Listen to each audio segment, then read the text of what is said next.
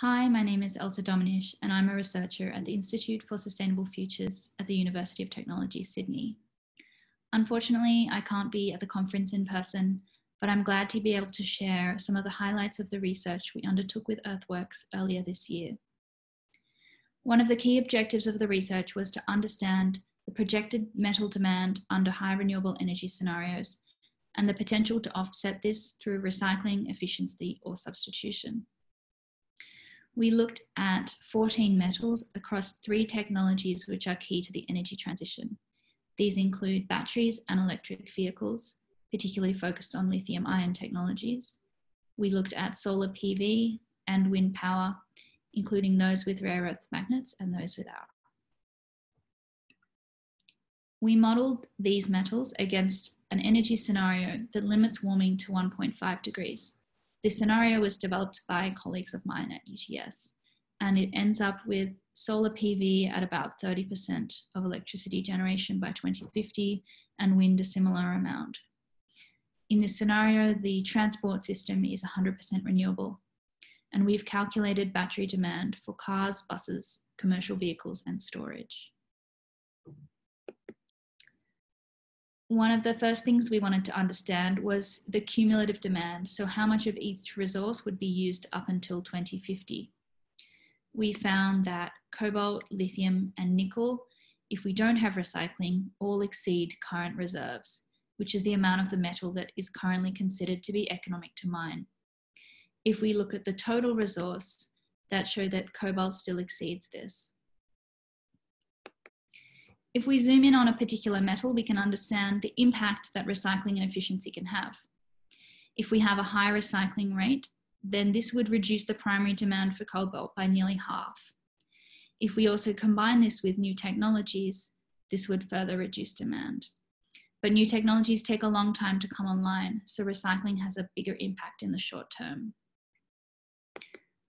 This is true across all the battery metals, so overall we can say that recycling has the greatest potential to reduce primary demand for these metals. However, the story is slightly different for metals used in solar PV. For example, for silver, there is very little recycling happening from solar panels.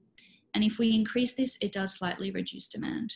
But because of the long lifespan of solar panels, shifting towards um, more efficient panels actually has the greatest potential to reduce demand in the short term.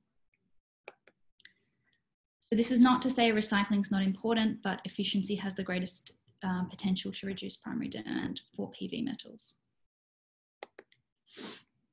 We also looked at increases in production to try and understand where mining is likely to ramp up in the short term.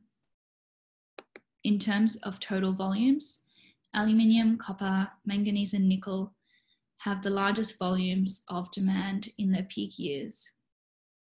If we look at that as a share of the levels of current production, then cobalt, lithium, and nickel once again emerge as important, but also rare earths have a large increase in production compared to current rates today.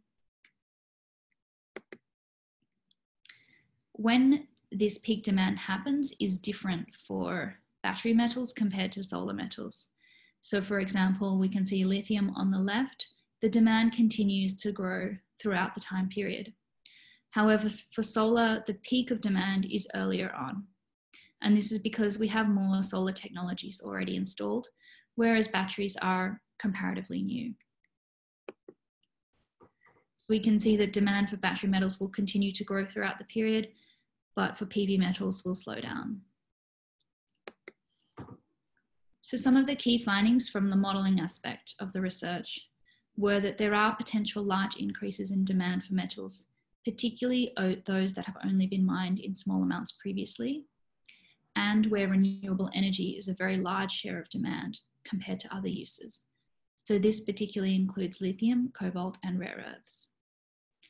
These metals are the most likely to see large increases in production and new mines, as they are harder to substitute from other uses. When we compare the different technologies, we found that electric vehicles are the main driver of demand for these key metals, rather than batteries for stationary storage or other technologies. In order to reduce demand, we need a combination of recycling and increased efficiency. However, this won't meet all the demand that is there.